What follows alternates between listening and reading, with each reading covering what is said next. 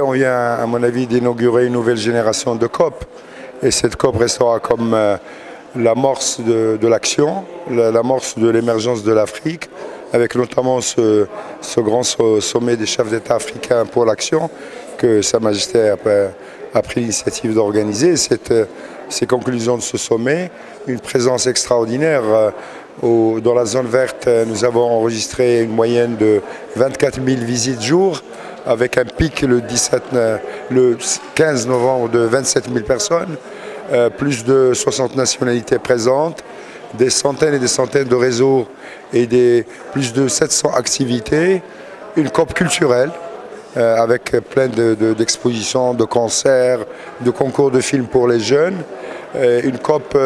des territoires avec le deuxième sommet mondial des élus locaux et régionaux qui a rassemblé 1500 élus et avec une déclaration, euh, une COP de la recherche avec euh, un stand des universités marocaines et des instituts de recherche, mais aussi un sommet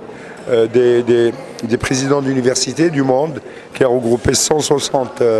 160 présidents d'universités, 37 chanceliers d'académies africaines, avec une déclaration là aussi,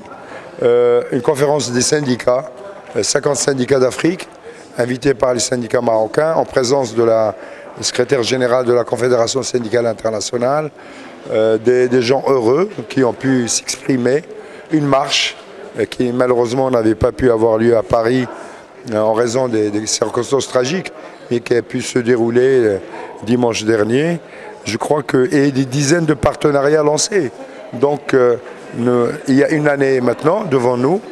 pour encore plus pousser l'action euh, en faveur des peuples insulaires de l'Afrique et faire entendre la voix des, peuples du Sud de manière, euh, de manière plus importante encore. C'est un, un, démarrage euh, extraordinaire pour cette présidence marocaine et je suis fier de, de nous-mêmes, de nous tous, comme, comme nation, comme État, comme acteurs de la société civile. Nous avons relevé le défi et nous l'avons réussi, me semble-t-il.